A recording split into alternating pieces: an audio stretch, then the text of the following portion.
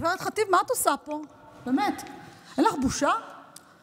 לא האמנתי שהעזת לבוא לפה, לשבת פה, אחרי שהכחשת את הרצח של התינוקות של בני העם שלי, את עריפת הראשים שלהם, את השרפה שלהם, את האונס שלהם, את כריתת האיברים המוצנעים שלהם.